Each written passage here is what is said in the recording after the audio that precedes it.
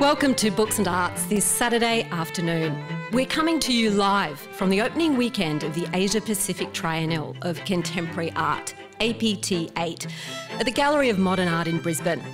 APT is the world's largest exhibition of art from Australia, Asia, and the Pacific, and one of the most anticipated and influential events on the contemporary art calendar. So it's fantastic that you can join us on your radio, mobile phone, podcasting platform, or right here in person in the very comfortably air conditioned surrounds of Goma's Cinema A.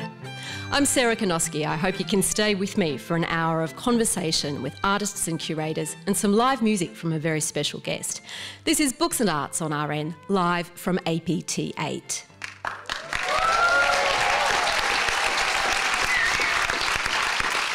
And we're going to be beginning this afternoon with some of the brains of the art world, the curators who make the decisions about what art we see and who help set the agenda for the sort of art that gets made. Maud Page is Deputy Director of Collections and Exhibitions at the Queensland Art Gallery and Gallery of Modern Art. Emmanuel Kasarhérou is Chief Curator of the French Overseas Territories at the Musée Quai Branly in Paris. And Yason Banal is co curator of the Filipino Cinema Project that's happening as part of this APT 8. Welcome, all of you, to Books and Arts. Thank you. Maud, congratulations. Give us a sense of the scale of this APT. How many artists are on show?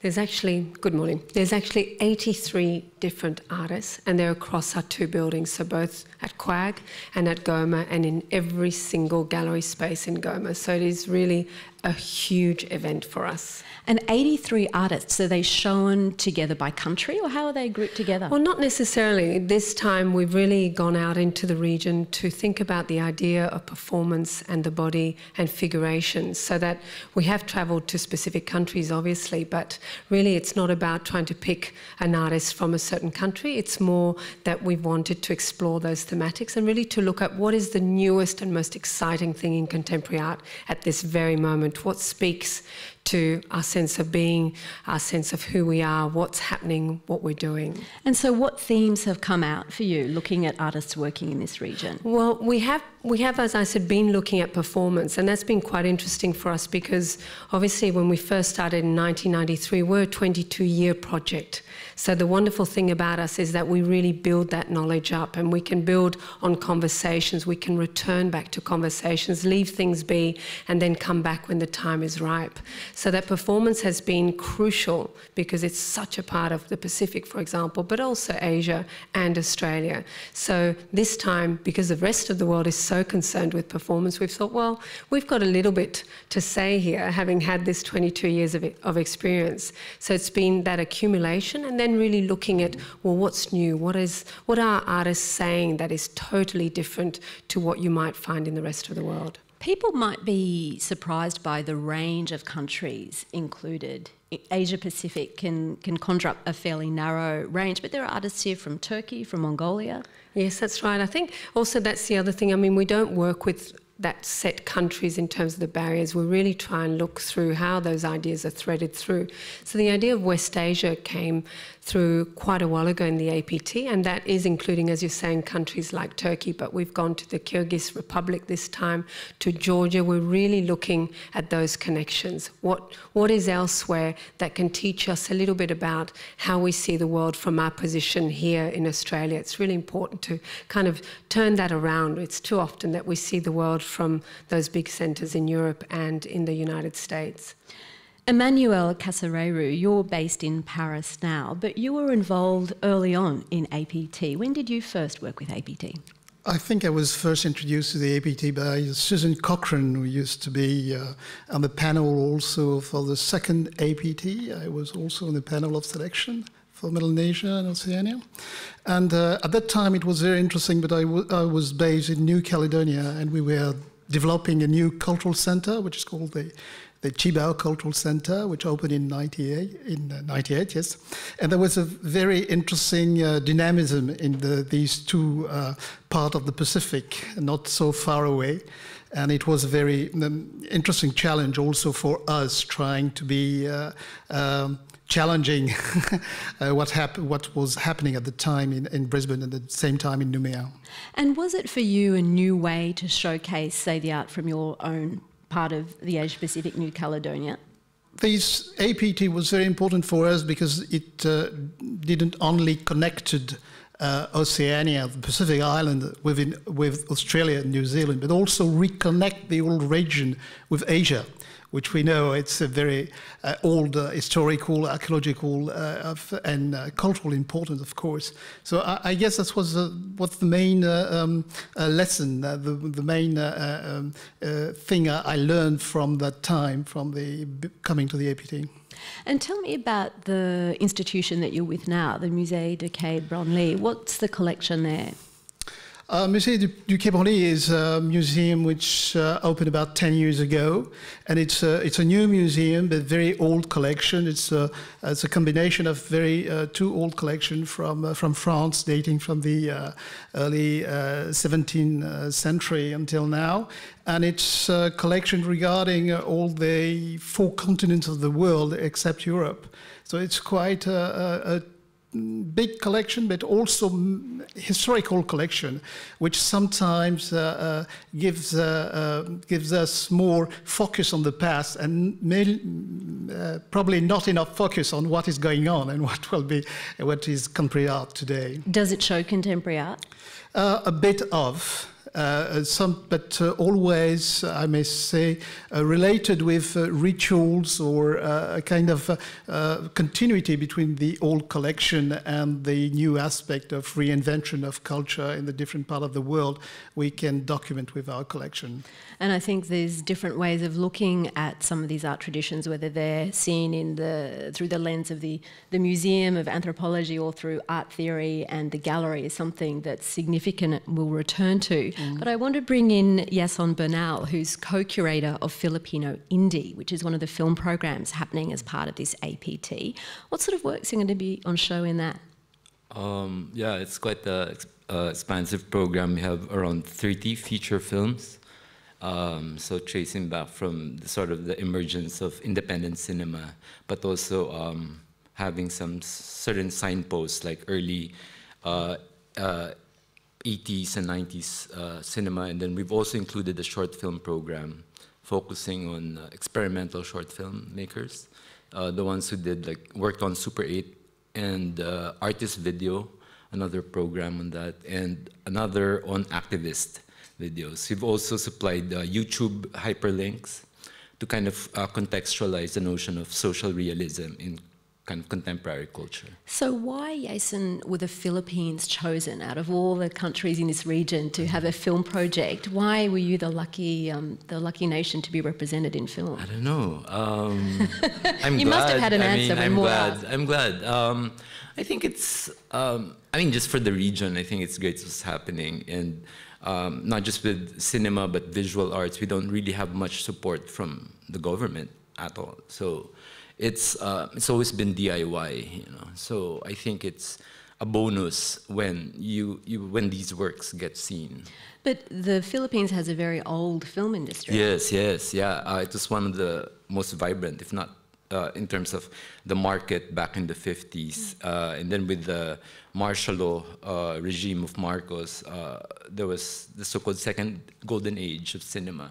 So, uh, but there was a decline in the 90s and I don't think it's just the Philippines because of just the, the cost of film production and the advent of digital technology. So there's this so-called new wave, uh, people who are working in digital and uh, also entering the visual art sphere, like installation and museum uh, films being shown in a museum context. Yeah.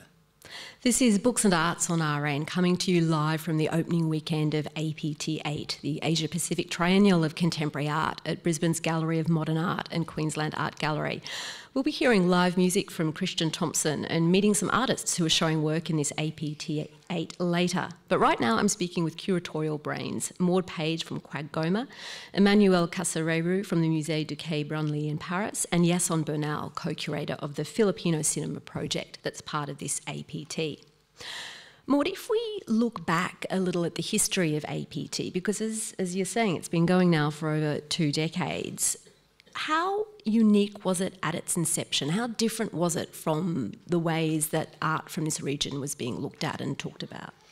Well, I think that when it originally started, art from the region wasn't looked at, and that was the why it was seen so or received so well. Because I think there were specific exhibitions, say, on Japan or, or China, but really they happened very sporadically. And the APT was a, a platform that suddenly was able to show a whole lot of countries together and a whole lot of artists together. So that's why it was important. So it was really, I think, uh, quite a brainwave at the time when everyone was still looking towards Europe that we looked towards the region. What was important as well is that we were a very new gallery, so we didn't have the really expansive collections of some of our other state galleries. So we really had to look towards well, what identity can we form? And that's what's been wonderful is that from that very beginning, now we've formed an incredible vision that is so, solely based on that art from Asia and the Pacific, and it gives us that distinctiveness, which is great because it's built on that long history. I wonder though, I mean, as you're saying, there's such a range of countries represented 32 countries, you know, from Mongolia to Pakistan to South Korea to PNG. Given that spread, is it meaningful, or how is it meaningful, I suppose, to look at these works together? Emmanuel, I wonder what you think about using this category to look at such different sorts of work in the one exhibition?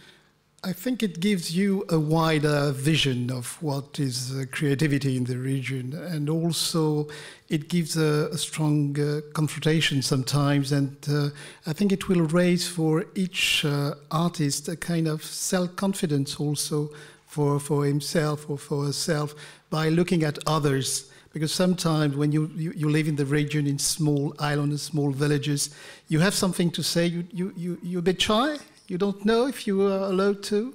And when you come to this kind of uh, uh, big platform, you see other people in the same, the same situation. And I think this is probably one of the main uh, importance of the APT in the region, especially specifically for the Pacific Islands. Yes, and what about from the perspective of film? I mean, is it um, differently valid to look at Filipino film in the context of film from Indonesia, film from Australia, than against American film or European mm. cinema? Well, um, well, the Philipp- I mean, Philippine cinema, or at least the Philippine film industry, is, has been strongly influenced by Hollywood because you were colonized um, by America. Um, that said, I think um, traces of, you know, at least uh, encounters with post-colonial cinema or um, even the region. I think at the end of the day, um, while there are overlaps, uh, still be interesting to, to look at artist practices. Um, and so there might be have overlapping influences. But for example, like filmmakers like Lav Diaz does like really, you know, durational films, uh, or punk filmmakers like Khavn de la Cruz may have reacted to a certain Hollywood formula or aesthetic, uh, but also at the same time um, kind of being really embedded in a sense of the local, I guess. And Lav Diaz is a Filipino filmmaker yes. who is a real focus of uh, the program yes, that you've put together. Yeah. And he makes very long, like 12 yes, hours. Yes, 12 hours. Um, his short film is four. So it makes hours. the Titanic look like a like a short when yeah, it's something yeah, but he's good. Like yeah, I mean, it's interesting again the the notion of the long take uh, in European cinema or has, has been used a lot, and Warhol also used the long take, but it's also different how he uses that. So it's more of the technique that gets, I guess, translated in different uh, ways based on. How's the audience understood in a film of that length? Uh, are people meant to come and go, or is there a commitment to the, the whole work when you sit down? Um, I think that's when um, the visual and the kind of the cinematic space uh, gets really interesting because uh, I guess like with any film, when you're in a movie theater, there's this, um, I guess, criteria that you have to sit through. But that's why it's exciting, I think, for his films to be shown in a in a visual art context, and uh, so that people can see cinema in a more sculptural aspect, more conceptual. Uh, so that's an interesting context for, for film to be seen also. Maud Page, the planning that goes into APT is mind boggling to me. Does it fi- feel a relief to finally reach the opening weekend? Absolutely and totally. I'm glad you can't see my face.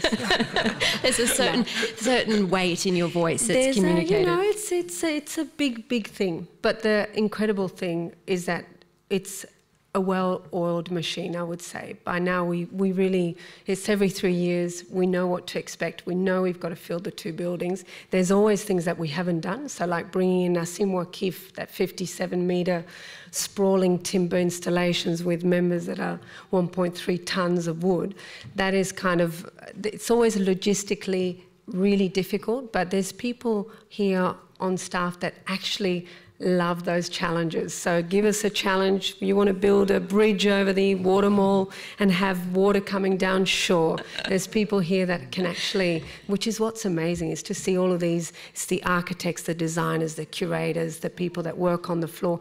Everyone gets together and nuts things out until we can deliver them. So, what's the process of finding the artists? How do you actually select the work that's included in APT?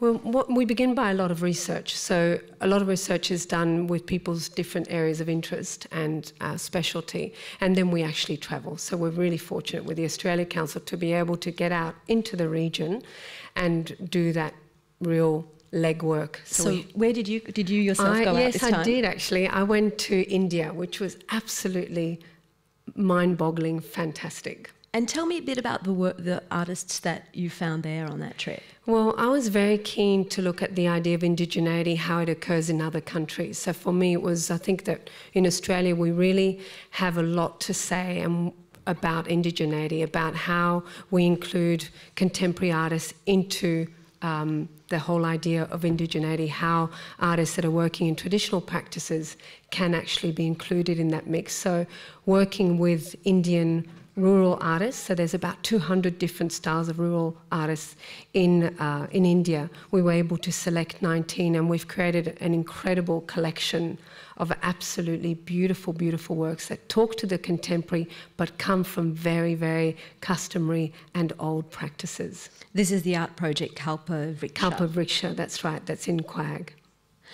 Emmanuel, the debate around uh, where traditional art or vernacular art sits in the contemporary art context, I think as you know, it's evolved over time, over certainly over the 20 or so years of the APT. From your perspective, where is it now? I mean, is, is art that comes out of specific traditions in this region fully accepted within a contemporary art context? I think it depends of uh, one's, one the side of the of the world you, you are looking at, because I switch. I I was looking at it at it from the southern hemisphere, and I was very close to the kind of thing we're doing in uh, New Zealand and Australia. Being now in, in Europe, I, I, guess it's a bit different. You have to cope also with an old uh, history, a vision, a kind of relationship with what is art and what is not art which is a bit different. and but uh, thanks to the kind of uh, event was were developed here, especially the APT, I think we, we still follow the APT from Paris. uh, that's very important. Yeah, we we all always keep an eye on because it uh, it helps also this kind of institution I work in now to to see the things a bit differently that they used to do. Say from contemporary artists working in your part of the world, New Caledonia or other parts of the Pacific. Is it significant whether their work is shown in a gallery like Quagoma or a museum? What's the what's the significance for those artists? I think it depends of the kind of uh, context uh, you, you present the, the, the, art. So it can be very different uh, according to the different uh, exhibition. Uh, I think it's uh, probably a, a, kind of a, a, new challenge to be seen outside a museum in a kind of context like a, a, a gallery, a, um, Canterbury Art Gallery, because it opens also the, the way you look at yourself not only as uh, the voice, a representative of one specific uh, part of the population, and you open you, you open your mind, you open also maybe your the, the, the way you address your own identity and the, the relationship you, you will have uh, with the rest of the world.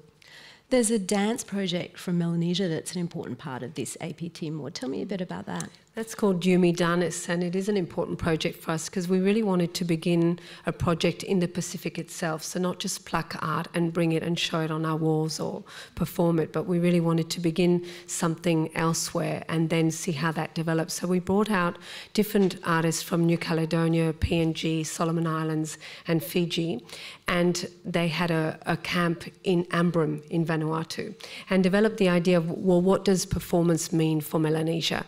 How how, can we also communicate that to a non Melanesian audience?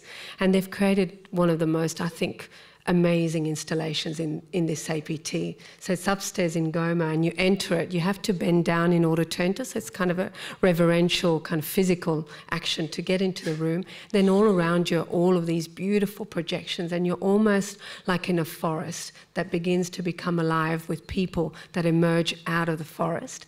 And alongside it is a little kind of hut and within it are those people that performed at Ambrym. So it's a real act of generosity as to a sharing of culture, but also brought in in such a contemporary way. I mean, I find that project absolutely spectacular.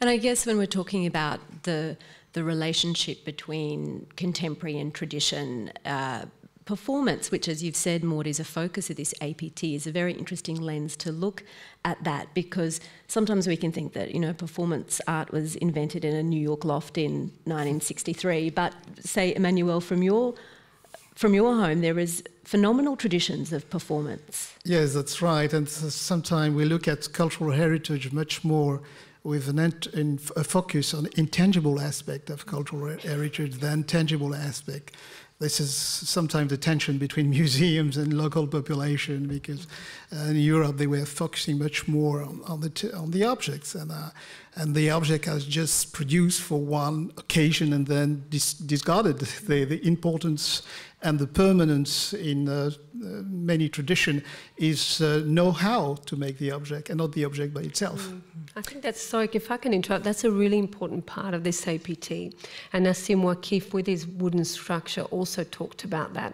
That he said, look, there's a tendency to fetishize the, the object itself, but we're losing, we're losing the thread of how that object was created, that cultural knowledge, and it's really important to pay equal attention to that. And those intangible moments that that you're describing, Emanuela, really they're key. But how do you present them in a museum context? Very difficult to. Well, of course, yes. On one way to present these intangible experiences of performance is in film. And given the focus on performance in this APT, how do you see that uh, that emphasis and that move, I guess, in contemporary art in terms of the tradition of film?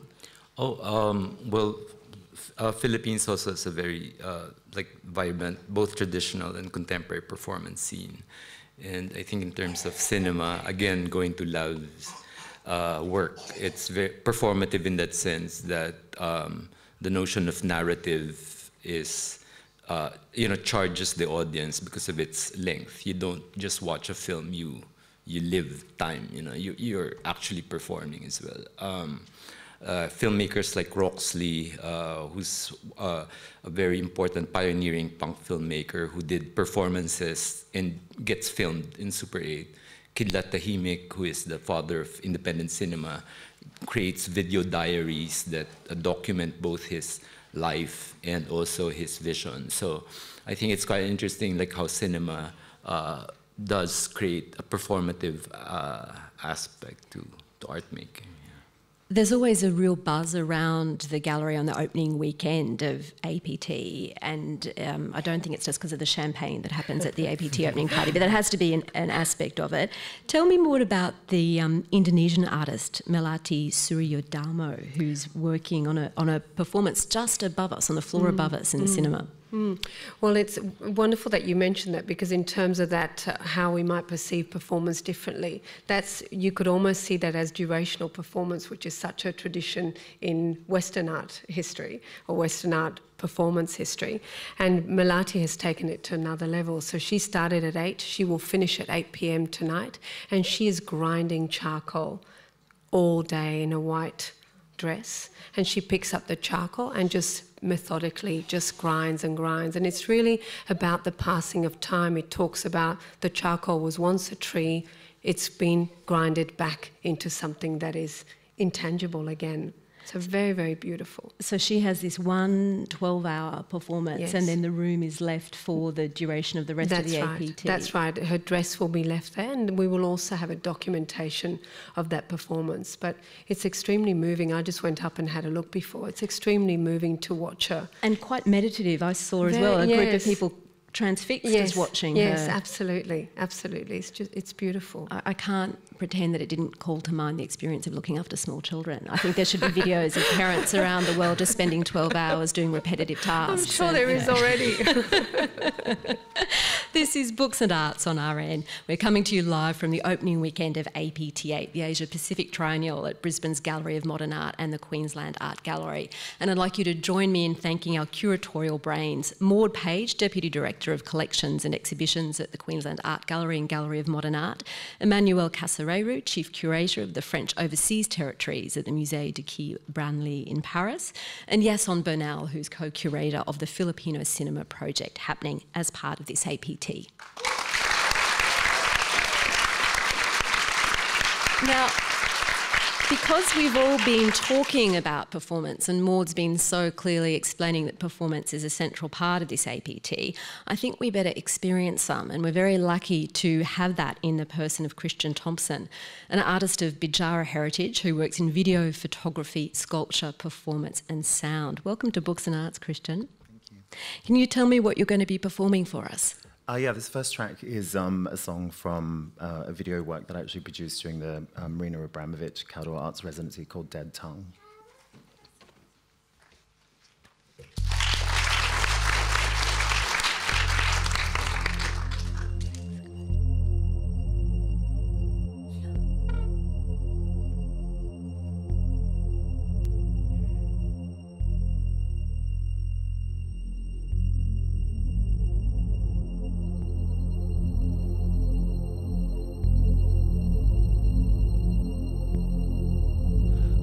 Wanyawaga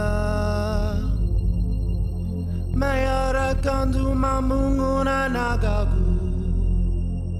Nagani kumbere beri mundu buku aja guru buku aja guru buku aja guru buku aja guru buku aja arina langu gandu paraku wanyawaga mayara kandu mambunguna nagaku. Nagani kumbere beri mundu buku aja. Guru buku aja guru buku aja guru buku aja guru buku aja. Wanyawaga mayara kandu mambunguna nagaku. Nagani kumbere beri mundu buku aja. Guru buku aja. Guru buku aja. Guru buku aja. Guru buku aja. Arina lagu kandu paraku. Wanyawaga. Mayara kandu nagaku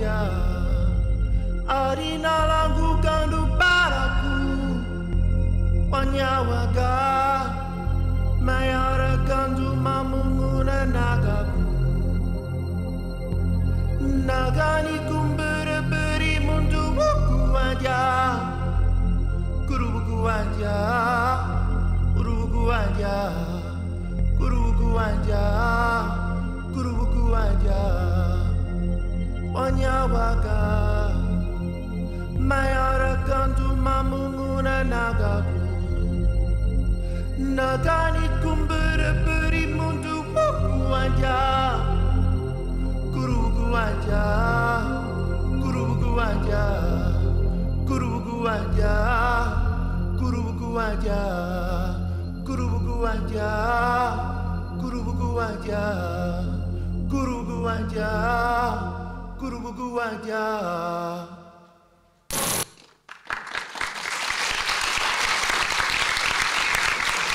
On Books and Arts on RN, we're coming to you live from the opening weekend of APT8 and being treated to a performance by one of the artists of this APT, Christian Thompson, who is um, performing music as part of this APT and also has some photographic work that he'll tell us about.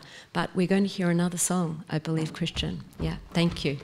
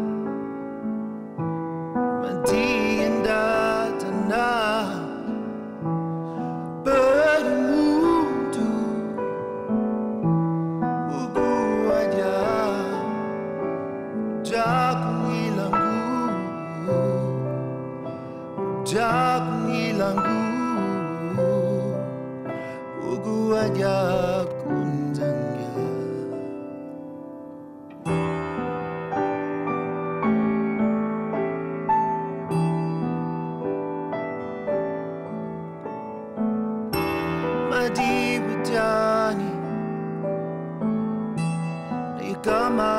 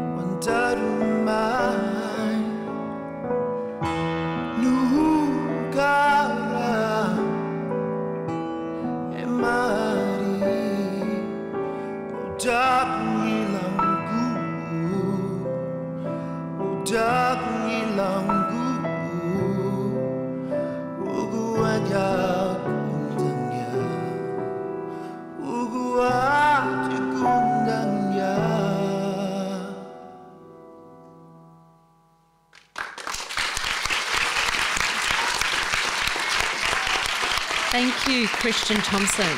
Outrageously talented person. I've admired your photography, and now it turns out you're a really beautiful singer as well. it's like you just got all the genetic luck, Christian. Christian's an artist of Bidjara heritage who features in this APT. I'm Sarah Kanowski and I'm bringing you RN's Books and Arts live from the opening weekend of APT 8. It's great to have your company, whether you're joining us over the airwaves or here in Cinema A at Brisbane's GOMA. And as Christian joins us for the panel on artists, let me introduce you to our other two guests. We have Ming Wong, who was born in Singapore but now lives and works in Berlin. Ming was trained in Chinese painting and has been a playwright, another outrageously genetically gifted person. He now makes witty, provocative works, which I can attest to having seen them upstairs, playing with cinema and popular culture. And they've been shown recently in Berlin, Rotterdam, Jakarta, and Sydney. We also have Lisa Reihana, who's a Maori artist of Ngāpuhi descent, whose multidisciplinary works have brought her audiences around the world as well. Lisa's work has featured in APT2 and APT4, and for this APT, Lisa is part of the opening weekend conference. And Christian joins us. Please make all of our artists welcome.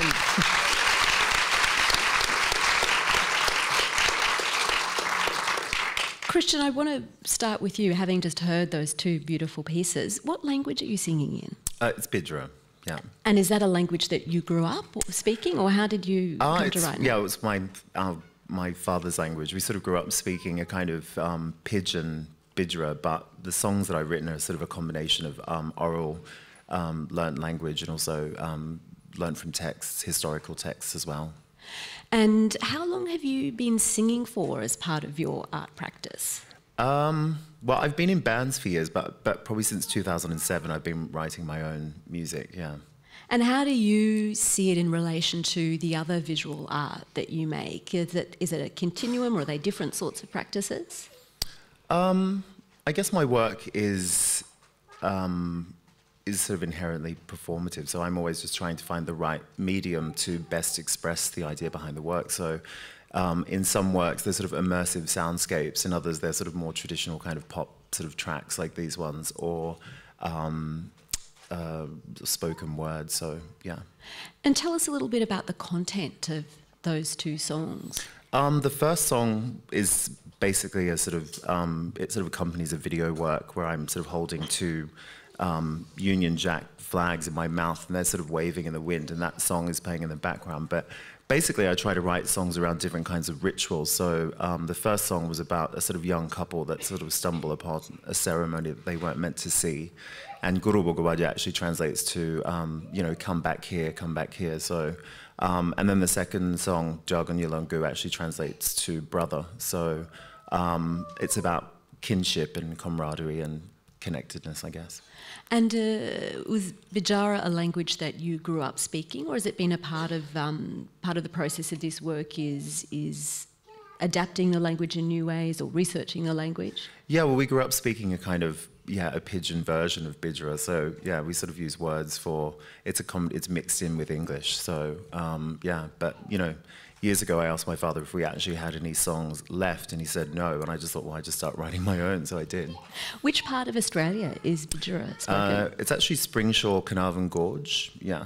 So Charleville, Springsure, Carnarvon Gorge. Between there, that's Bidjara sort of country. Yeah. Ming, tell me about the work that you've got in this APT. All right, the work is called Aku Akan Bertahan, or I Will Survive, and um, it's inspired by the history of Australian cinema. I wanted to see what I could do as a, as a Singaporean artist of Chinese descent, making a work for the Asia Pacific Triennial. And I thought one point of commonality is our neighbor Indonesia. So I traveled to uh, Yogyakarta and I decided to um, do these interpretations of Australian cinema but transposed to the, the landscape of, uh, of, of Yogyakarta. And the three films in question are Picnic at Hanging Rock and Walkabout and Priscilla, Queen of the Desert. I mean, I watched a lot of Australian cinema as part of the research, but these films came to the fore uh, when I was um, traveling around uh, around Yogyakarta, and I was really inspired by the kind of uh, mythical uh, landscapes. And these films uh, really are about the struggle between uh, man and nature. And I think this is something very much in my mind when I was uh, doing my research. So in the artworks, it's you feature in them, am I right? And three other men. Are they from Indonesia, or are where are those performers? Well, this for this work, I roped in uh, f- uh, three other collaborators. So that's me from Singapore. There's Tamara Pertamina, who's an artist from Yogyakarta. There's uh, Shaman Suku, who's uh, a friend uh, from Singapore originally, but now based in Sydney. And then there's Brad Edwards, uh, a friend of Shaman's from Sydney. So we form a colorful quartet of performers. And what we did is we had a two week uh, workshop uh, in Jogja where we um, uh, filmed these sequences um, in the landscapes. We also did a dance rehearsal with, uh, with a choreographer, O'Neill Tasman, who taught us a mixture of um, classical Javanese dance, uh, a bit of dangdut, which is Indonesian popular music, and contemporary hip hop, a bit like Beyonce. And the music that we used was uh, I Will Survive, the anthem by Gloria Gaynor, but uh, reinterpreted by uh, a street band that we found in, in, in Yogyakarta. They are an angklung band. They, they play with these um, bamboo instruments. And they made a very beautiful kind of uh, um, translation of the song. And what are you wearing on your heads, Ming? Well, the, the, when you look at it, sometimes it looks it, it looks familiar. It, it, it, the references of, to Australian cinema are there, but uh, on the other hand, there are references to um, Indonesian kind of like uh, styling. Uh, I made four wigs for the four of us. They're made of um, recycled raffia string in primary colors. They're actually the colors of uh, plastic bags. Um, So they're, they're neon, they're phenomenally bright. they're phenomenally bright, and when we put them on, it and the pictures look like uh, something out of a children's uh, storybook. a disturbing children's storybook. In fact, I think the one that I that I really loved is the picnic at Hanging Rock because it's those iconic images of of the white dresses and the um, the rock and the trees, and then there's the four of you wandering through with these mad uh, sort of Ginger Meggs wigs on. Yeah, they're very interesting. They're very interesting works. Yeah. Lisa Reihana, your um, your work in pursuit of Venus Infected is on show at the moment over at um, the Queensland Art Gallery. Tell me about that work, please. It's a, a, a really large work that was inspired by seeing um, a French scenic wallpaper, Les Sauvages de la Mer Pacifique. I saw it at the National Gallery of Australia um, about eight or so years ago.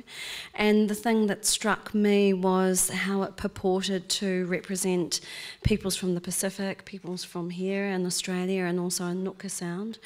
And uh, when I was looking at these kind of glorious um, imagery, it had nothing to do with the people that I knew at home. And uh, a number of years later, I was casting about for an idea for a uh, video project and remembered, recalled seeing the, the wallpaper and then thinking about notions of video wallpaper and, and kind of utopian ideas of landscapes and how we, you know, have these ideas of landscapes in our mind's eye and, and then how we populate those places. And the thing that happened in New Zealand a number of years ago, there was a lot of uh, contestation about, about the foreshore, we call it the, um, the foreshore debate about who owned you know, that, that kind of um, intertidal zone, the space in between sort of land and sea.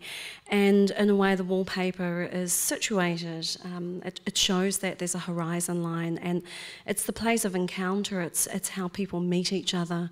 It's um, because of the sea that we that human beings have moved around the earth, apart from walking. But um, in order to to go to other spaces, it's been um, by vessels, by boat, um, and certainly uh, the work was.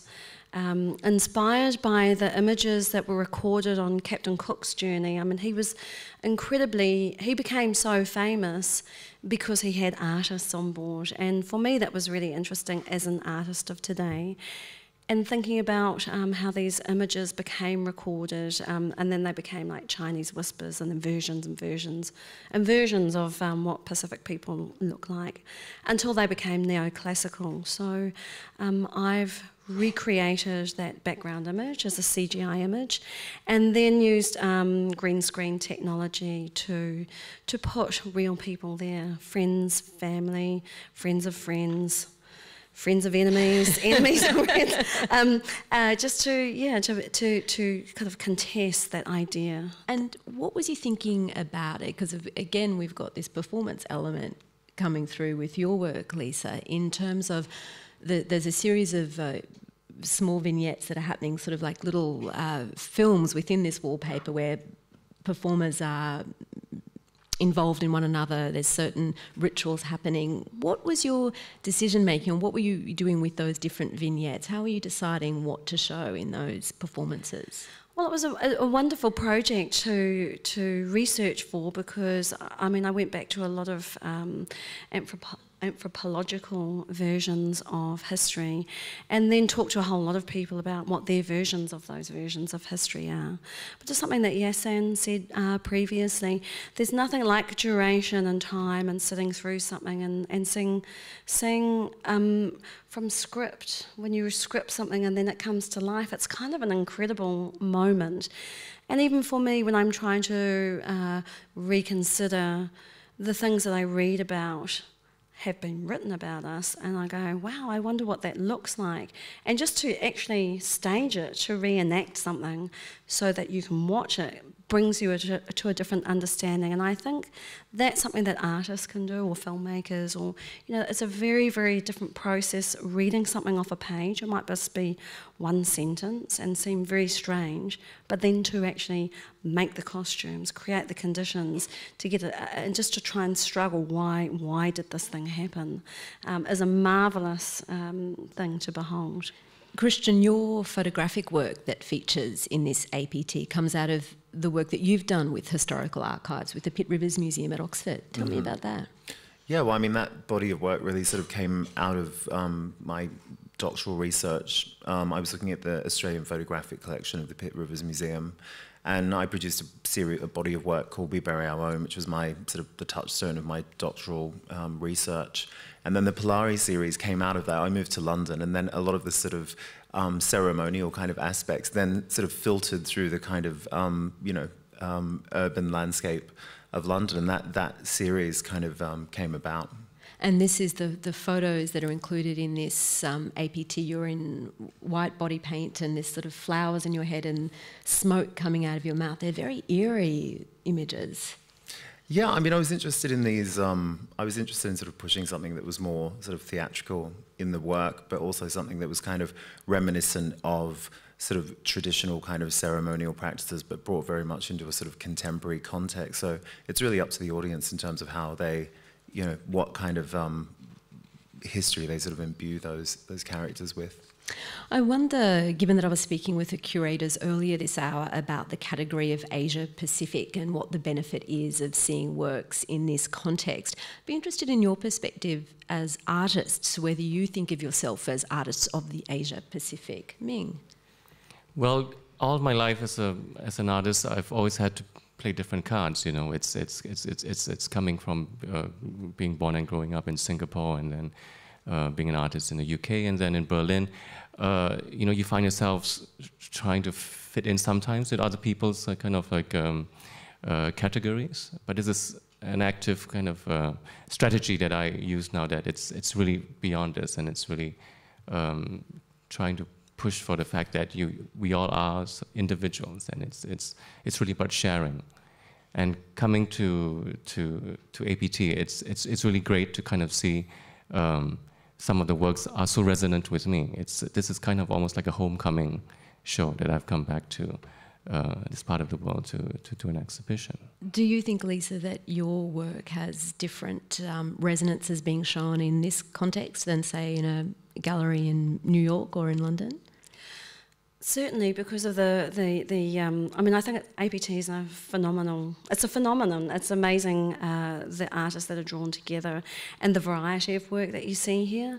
I mean, uh, uh, we have a very ancient um, line that connects us to Asia, and that's the Austronesian connection, and so that is also about the waka waka um, practices. But for me, I, I, it's really important. The first place I ever um, came internationally was to Australia, and I have this theory that Australia and New Zealand, or Aotearoa, which is the Maori name, is it's really important. It's like a big brother, little sister kind of. It's the oldest um, culture in the world, next to the youngest, and so we have very much to learn from each other and to share. And it is that sense of community and sharing. Um, so. Uh, I for the artists that are here, and, and, and as Emmanuel said before, coming from some of the islands, smaller islands, it's really an amazing opportunity to share and learn and just to have um, that leg up in a way and just to be in amidst um, so many artists because the artists are here and those relationships grow through time and that gives that, that opportunity. Yeah, there is a whole sort of infrastructure and institutional aspect to what happens perhaps behind the scenes for. Uh, at APT, which has resonances in this region and beyond. I wonder though, we have talked a lot about the pluses of the APT over its eight incarnations. I wonder, from the point of view of these three artists, if there's something about APT, uh, there's something about this region that APT misses. Is there something it could do better? Christian. I'm probably the worst person to. I've been in Europe for ten years. I don't know. well, what about from a European perspective? Is this is this on the radar in Europe? What happens here with APT? Um, I'm not sure. I mean, I think it's always yeah, it definitely is actually because um, a lot of the people that I sort of mix with in um, in the UK of you know APT is internationally recognised. So. Um, but I think last night there was an amazing energy, and I thought a really celebratory energy about the show. And I thought this is how you really, you know, enjoy the sort of artistic experience, and maybe it's got something to do with the weather as well. But it felt definitely that there was a real um, um, positive and celebratory feeling around the sort of interaction with the work. And I think this particular APT is incredibly um, vibrant in that sense. Ming, maybe I should ask it in a more positive way. Where do you want APT to head from an artist's point of view? Well, you know, one of the first questions I asked myself is why is APT located in Brisbane? It's uh, and I and then I went to study the kind of the history behind it, and it's and it's great that it's here. But um, why? What do you mean? Why, why is it not in a bigger? Was that your first feeling? Why isn't it say in Sydney or? Well, you know, uh, one of the one of the places that I went to for my research was Darwin, and I thought like APT should travel to Darwin too. It's kind of, it's kind of geographically loaded, and it's it's it's it's um, but um, all I'm saying is, it's APT has has potential to kind of travel, and it's, it's it has resonance every in, in every in every place. Mm. Interesting. My my um, I could be wrong, but my perception is that APT did develop out of an artist-led project called ARX, which um, was in Perth. Well, um, the, I went to one in Perth, but it actually moved around. It went to different countries, and it was um, so they, they kind of picked up that model, but it, became an institutional model, which is why it kind of um, lands here. I wouldn't want to say that there's anything missing, particularly. I could cut my throat, and I don't want to do that publicly. Um, but what I think is really um, great to come here is what can we learn from APT and share back into into other places and other regions. And one of the things I do love is the opening event because there is that sense that so many people get invited, and it's a really great way to break down that elitism. The other thing that I think it does very well, or this gallery always has a great history of um, the children's programs and how you grow your next generation of art lovers. And I'm, I really have to, you know, thank the everybody here at QAGOMA because I think they do a great job and they at all different levels. Well, that sounds like a very positive note to end on. I want you to join me in thanking our artists Christian Thompson, Ming Wong, and Lisa Reihana.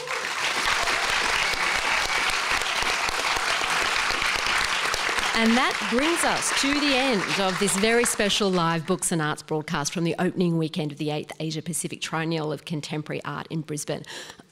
I want to thank all my guests. It's been a fantastic introduction to this exciting and important expedi- expi- exhibition. Now I'm about to pass out. It's lucky we're at the end of the hour. And it's on until April, so there's plenty of time for you, wherever you're listening, to come and make a pilgrimage to see it. We've got all the details of our guests today and the events of this opening weekend at the Books and Arts page at RN Online, abc.net.au slash RN. Thanks to sound engineer Peter McMurray and to Jen Leek for production. A big thanks to all the staff at QAGOMA who've been so generous in having us here. I'm Sarah Kanowski. I'll catch you next Saturday.